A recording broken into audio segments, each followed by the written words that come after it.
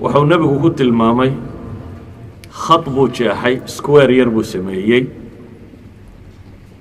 Markuu square afargeesood yar sameeyey ayuu nebigu calayhi salaatu wasalaam xariijin ka dhex saaray.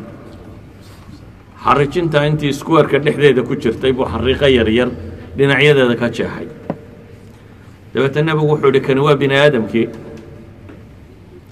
Ajashiisu sidan bay ugu wareegsan tahay yacnii laabud inuu dhimanayo. Geeridu dhan walba way ka xigtaa oo wuu geeriyoon doonaa xariiqdan dheera arkaysaanee ka baxday. Dhaafsisan boxkiira ayuu nebigu sawiray dabadda uga baxdayna. Waa amalkiisa. Raje iyo yadidiila uu qofkan bini aadamka qabo. Iyo balaankiisa adduuniya wax uu ka fekerayo xariijimahan yaryare hareeraha ka xigana waa mashaakil dunya acraadiha waa dhibaatada adduun. Oo haddaad tan ka baxdo tan baa ku haleelaysa haddaad ka maqacdo tan baa ku haleelaysa si kale haddaynu u tilmaamno waxa weyaan dunidan waxaa laynoo keenay in layna itixaamoba waxaynu u joognaa liyabluwakum ayukum axsanu camala. In layna itixaamo waxay culammadu yidhaahdaan meel laysku itixaamona waa qaabkii ugu fiicnaa qaab bini aadam imtixaan loo geliyo waa best bay yidhaahdaan qofka bini aadamkaa loo itixaamo haddaba insaanku adduunka kan amalkan tirada badan iyo rajadan tirada badan la wisa siiyo waxay culammadu yidhahdaan laba sababood baa inta badan keena. Oo ah aljahlu wa xubu dunya. Idan xaqiiqada koowaad waa inaynu adduunka u joogno in layna itixaamo xaqiiqada labaad aynu wada rumaysanayna waxa weeyaan geeri. In dadku dhammaantii geeriyoon doono. Waa xaqiiqo gaal iyo muslimba la qirsan yahay.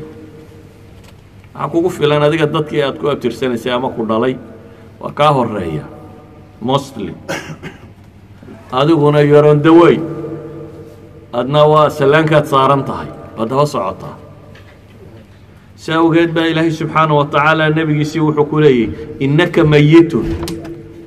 Wa innahu mayituun baa ilaahay yidhi.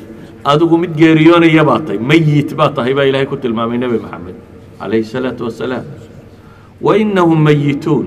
Iyaguna waa geeriyoonayaan baa ilaahay yidhi. Kullu man calayhaa faan. Dunida waxa kor saaran oo dhammi waa dhammaanayaan baa ilaahay ku tilmaamaya subxaana wa tacaala wamaa jacalnaa libasharin min qablika alkhuld afa in mitta fahum lkhaaliduun adiga hortaabaa ilaahay leeyahay bini aadam aan waaris siinay ma jiro gaalada waxay odhan jireen wuu dhiman doonaa raybal manuun bayn la sugaynaa waa maalmuu inugu qaylinayaa dani wilivas waa geeriyoon doona ilaahay wuxuu ku tilmaamay subxaana wa tacaala adiga hortaaba bini aadam waaray ma jiro afa in mitta fahum lkhaaliduun baa ilahay yidhi oo adugu haddaad dhimato ma yagaa kaa hadhaya ma yagaa waaraya baa ilahay leeyay subxaana wa tacaala idan adduunkan iyo dadka saaran oo dhami xaqiiqada labaad aynu ognay waxa weeye in la wada geeriyoon doono. Xaqiiqada saddexaad aan ognahayna waxa weeyaan. Daari lmamar waddadan safarka markaynu dhaafno inaynu ilaahay la kulmi doonno xisaabna waajihi doonno ilaahay intaad la kulanto subxaana wa tacaala liqaa'a allah iyo xisaab iyo janniyo naari inay ka dambeeyaan. S awgeed baa ilaahay qur'aanka wuxuu ku leeyahy qul ina almowta aladii tafiruuna minhu fainahu mulaaqiikum uma turadduuna ilaa caalimi algaybi waashahaada fayunabbi'ukum bima kuntum tacmaluun geeridanaa ka carcararaysaan baa ilaahay leeyahy cid walo inaga midaba geerida diyaaru maaha waa ka baxsanaynaa. Marka wadnuunku xanuuno madaxu ka xanuun dhakhtarme iyo yaa wax abiiba iyo yaa nafta igu qabta weeyaan waxaynu la wada ordaynaa. Cidina ma rabto inay hore uga baxdo. Ilaahay wuxuu leeyahay geeridana ka ordaysaan fa innahu mulaaqiikum waa idinla kulmaysaa. Mahma aad cararto cararto waa kula kulmaysaa. Uma turadduuna ilaa caalimi algaybi waashahaada dabeetana waxaa laydiin celinayaa baa alla leeyahy subxaana wa tacaala rabbi og waxa muuqda iyo waxa qarsoonba. Waxaad qarsatay waxaad ku fakertay waxaad keligaa samaysay wax kasta oo qarsoon. Caalim algayb washahaada ilaah wax walba og baa u tegaysaa kadibna fa yunabbi'ukum bimaa kuntum tacmaluun baa ilaahay yidhi. Wuxuu idinka warramayaa markaa wixii aad samayn jirteen oo dhan. Waa xaqiiqada saddexaad markaa dunidan inaynu imtixaan u joognaa waa kow amalkeennaasi ha iska dheeraado laba waa inaynu geeriyoonayno qof waliba geeri la kulmaya saddex waxaynu leenahay waa inaynu ilaahay la kulmayno subxaanahu wa tacaala oo xisaab iyo janno iyo naari dambayso kullu nafsin daa'iqatu اlmowt wainamaa tuwafawna ujuurakum yowma alqiyaamah faman zuxzixa can الnaari waudkhila aljanna faqad faaz wama alxayaaةu اddunya ilaa mataacu اlguruur naf waliba waa go'aysaa baa ilaahay yidhi. Waxaana laydiin dhammaystiri doonaa maalinta qiyaame wixii aad shaqaysateen adduunka waa laga yaabaa camal saalixa intaad samayso haddana inaad kadeedna iskala kulanto. Waa dhacdaa. Adigoo acmaal wanaagsan samaynaya in imtixaanku kugu sii kordho.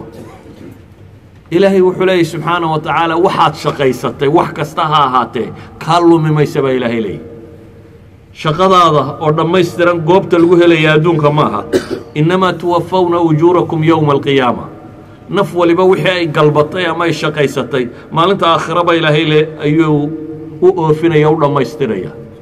Haddaba maalintaas baa ilaahay yidhi faman zuxzixa can innaari wa udkhila aljannata faqad faaz.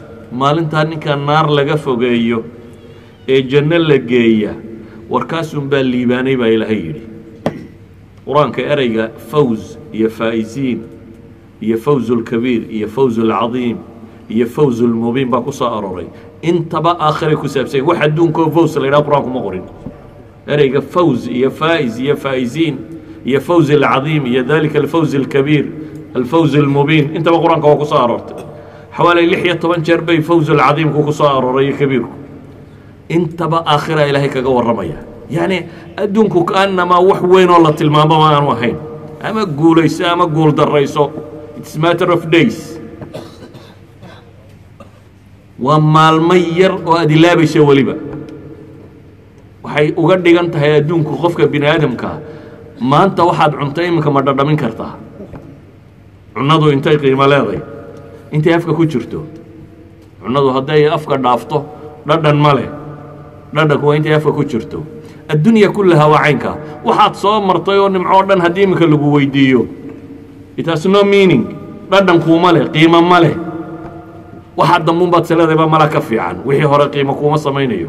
Saa daraaddeed baa ilaahay wuxuu leey war meesha guushu jirtaa ama guuldarradu jirtaa waa aakhiro. Wama alxayaatu اdunyaa ilaa mataacu lguruur baa ilaahay aayadda ku gebagabaynaya oo nolosha adduunya miyay tahayba bidhbidh yaroo lagu kadsoomo waa waxuu qofka bini aadamka ku kadsoomo ee maaha wax sii waaraya. Xaqiiqada afraad markaasi waxay tahay. Maadaama adduunkani daaru mamaru iyo haynu ka tegayno inaynu in badan yididiiladan fog soo gaabinno geerida in badan xasuusanno u diyaar garowno ilahi wuxuu leey ya ayuha aladiina aamanuu اtaquu اllah xaqa tuqaati walaa tamuutunna ilaa wa antum muslimuun wardadow ilaahay ka cabsada cabsida uu ilaahay xaq u leeyahy weyneeya weynaynta alle uu xaq u leeyahy ha geeriyoonnina baa la yidhi idinkoo aan muslim ahayn idinkoo aan muslim ahayn ha geeriyoonnina macnaheedu waa maxay qof inaga mida oo og wakhtigu dhimanayaa ma jiro no one cid garanaysaa goorta ay dhimanaysaa ma jirto haddaba waxaa la yidhi ha geeriyoonin adigoo aan mu'min ahayn. Taa macnaheedu waa maxay? Wakhti kasta diyaar aha weeyaan. Every minute oo noloshaada ka mid ah waa inaad diyaar u ahaataa geeri. Garan maysid ma markaad baxdaaba wadnu iskaa taagi. Ma gaadhaa ku mari ma maalmaad sii noolaan doonta. Walidaalika buu nebigu calayh salaatu wasalaam ducooyinku inan baray. Habeenkii markuu seexde uu soo tooso alxamdu lilaahi aladii axyaanii wuxuu odhan jiray ilaahay baa mahadle in nooleeyey geeri dabadeed. Jaanis in la siiyey buu u arkayey maadaama waagii uu bariyey oo uu soo kacay inuu jaanis haysta buu arkayey ilaahay wuxuu ina leeyahy markaa war ha geeriyoonina idinkoo aan muslim ahayn dadka inta ugu badan leh bini aadamka intiisa badani waa kaafil khaflada waxaa la yidhaahdaa waxay ahayd inaad xasuusato ad saaad moogan tahay. Wax ku ahaa muhiim waxa la ahaa inaad priority siiso horu mariso oo aad dib marisay. Khafladu waa noocan idan ilahay wuxuu leey اqtaraba linnaasi xisaabuhum wahum fii gaflati mucriduun dadka waxa ku soo dhowaatay baa ilaahay leeyahy xisaabtoodii. Wakhtigii la xisaabinayay bini aadamku wuu soo dhowaaday laakiin goormuu imanaya wahum fii gaflatin mucriduun iyagoo khaflo ku jiro sii jeeda baa ilaahay leeyahy bale ilaahay wuxuu tilmaamaya iyagoo a laahiyatan quluubuhum. Kuwa qalbiyadoodu jeedaan. Si awgeed baa ilaahay qur'aanka wuxuu ku leeyahy nebiga calayh الsalaatu wasalaam waandirhum yowma alxasra dadka waxaad uga digtaa maalinta murugada. Alxasra ay shiddaة nidaama. Maalinta murugadu tiro badan tahay. Uga dig bini aadamka id qudiya alamru wahum fii gaflati wahum laa yu'minuun ayuha alaxiba saasha isweydiinta le waxay tahay. See loo diyaar garoobaa marka. Haddaynu leenahay xaqaa'iqdani waa xaqaa'iq dhaba qofka muslimkii uu caqiidaysan yahy oo noloshiisa qasab ay tahay inay soo marto waxaynu isweydiinaynaa in la diyaar garoobo see loo diyaar garoobaa waxaynu u baahannahay horta ilaahay wuxuu leeyahay amalkan a idinla wakhtigan idinla dheeri waa wax gaaban. Isagoo gaalada la hadlaya ilaahay wuxuu idhi innahum yarawnahu baciidan wa naraahu qariiban baa ilahay yidhi. Iyagu wax fog bay u arkayaan beriga la isxisaabi doono iyo beriga aakhire la gaadho. Laakiin ilaahay wuxuu leeyahy wanaraahu qariiba. Mid dhow baanu annagu u aragnaa baa ilaahay leeyahy subxaana wa tacaala